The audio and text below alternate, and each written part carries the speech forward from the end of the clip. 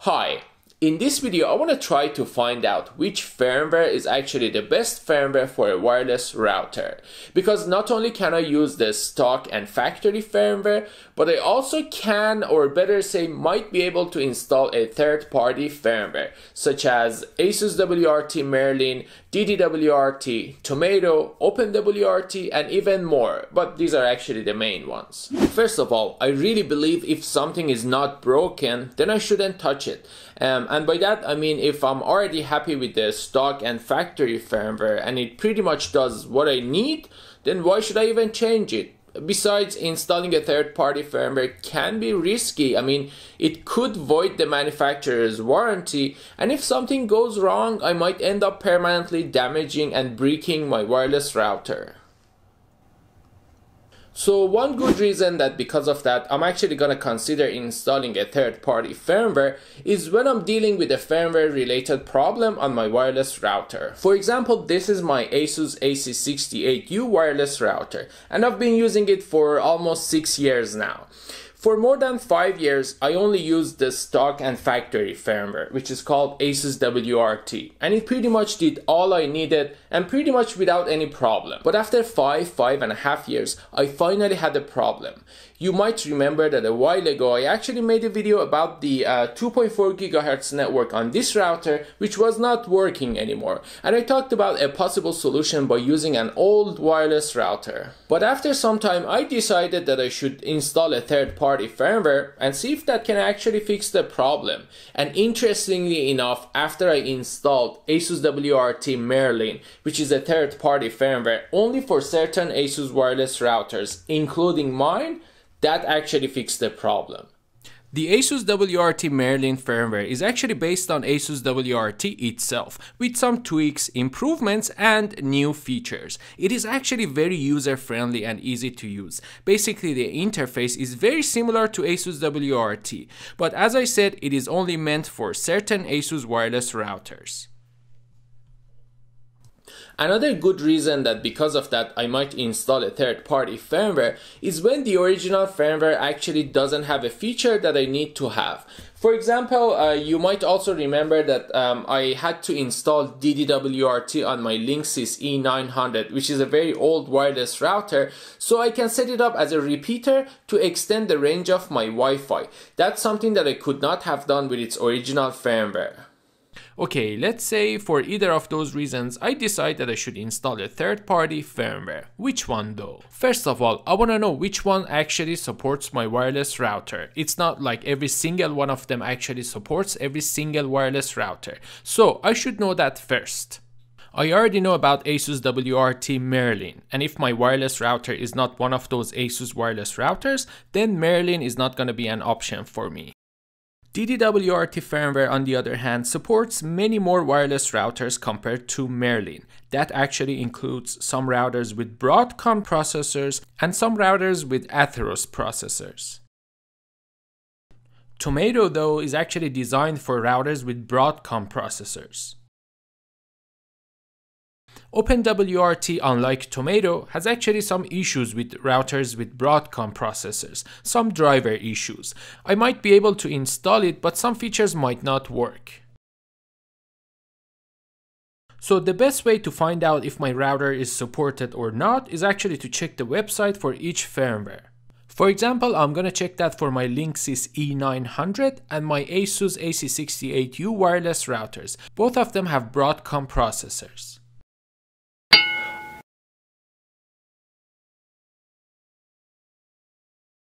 So at this point, I pretty much know which one I can install and which one I cannot. Next, I will consider the user friendliness of a firmware and also the availability of a feature or features that I need in that firmware to make a final decision.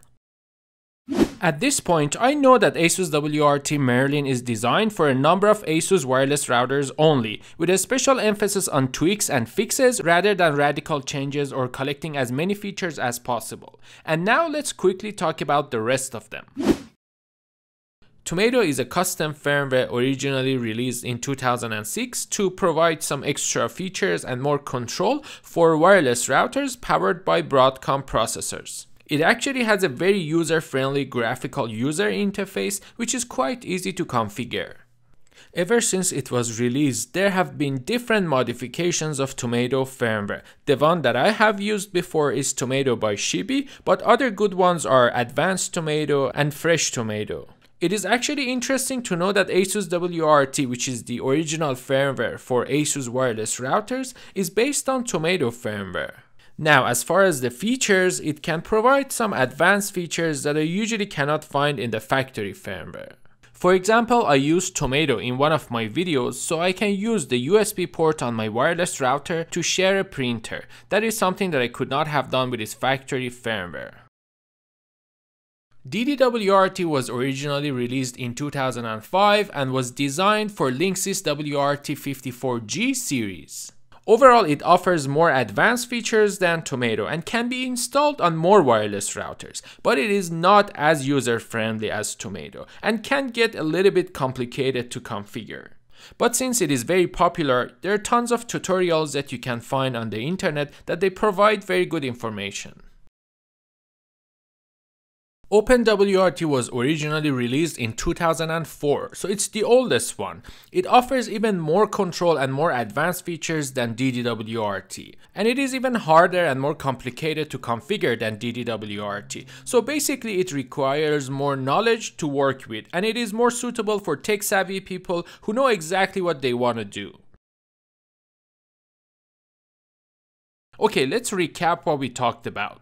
First of all, installing a third-party firmware could be risky. I might void the manufacturer's warranty, and if something goes wrong, I might also permanently damage and break my wireless router. So I will only do that if I have to. And by that I mean if the factory firmware doesn't have a certain feature that I really need to have, or overall if I'm experiencing some kind of firmware problem with the factory firmware, and maybe installing a new one can fix the problem.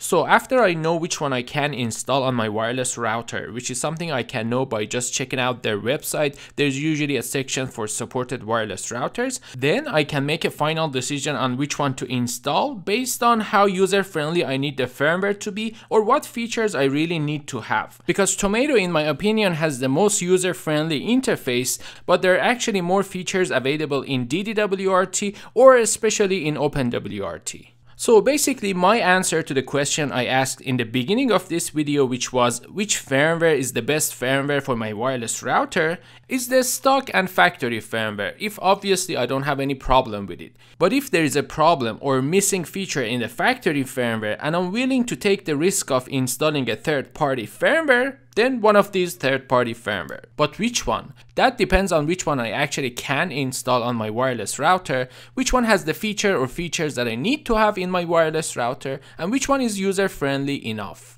As I already said, I have done some projects using Tomato and DDWRT and I will add the links to those videos in the video description in case you want to check them out. Hopefully I will make some videos using OpenWRT as well. Thank you very much for watching this video and I hope you liked it. Please hit that like button if you did, share it if you think others might like it too, and subscribe to my channel if you want to see more videos like this. Thank you again and I will see you next time.